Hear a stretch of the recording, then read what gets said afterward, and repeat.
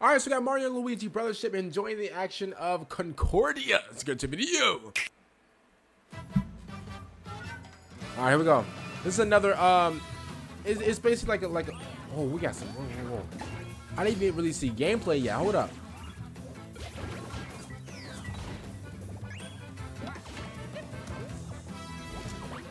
Oh, snap.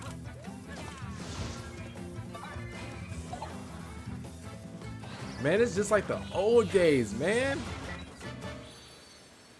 Ah, man, man, man. Just a, just a trip down nostalgia, bro. Listen, it, it's something. I listen. Maybe it's just me. I'm gonna get to Mario in a second, by the way. But maybe it's just me.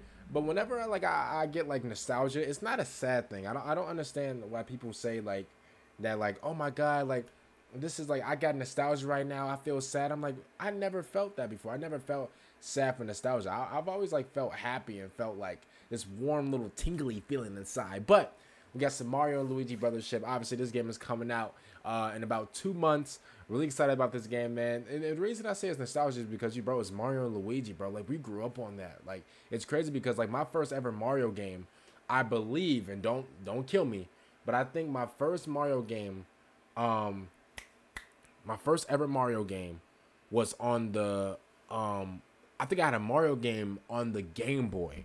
I was five years old. Mario game on a Game Boy. I for, literally forgot what it was, but it was a standard Mario game to the point to where you're going around, you you, you, you know using Mario, you're hitting your head up on, on, like the little things. You get the like the mushroom. You're going crazy with like the uh, with like the mushroom or whatever. Uh, you're jumping over like the little uh, uh of like the little Goombas. Uh, you're jumping over like the little brown little dookie thing. I used to call them like little dookie balls. You're jumping over like the little dookie balls.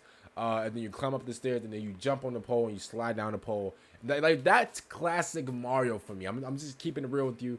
Um, so bro, I love Mario. We got Mario and Luigi finally coming through, and it looks like I don't know if it's confirmed or not, but it looks like um like just just co-op. I don't know if this is like a like a co-op type of game. Also though, bro, you know what I love though? Let me tell you something.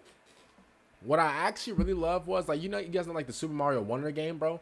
I loved how that was just like, bro, like that was a really good Mario. Like that was one of the best Mario games in, a long time. now I know you know that might trigger some people, whatever.